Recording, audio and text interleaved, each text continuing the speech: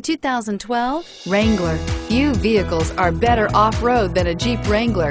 This is the one that started it all.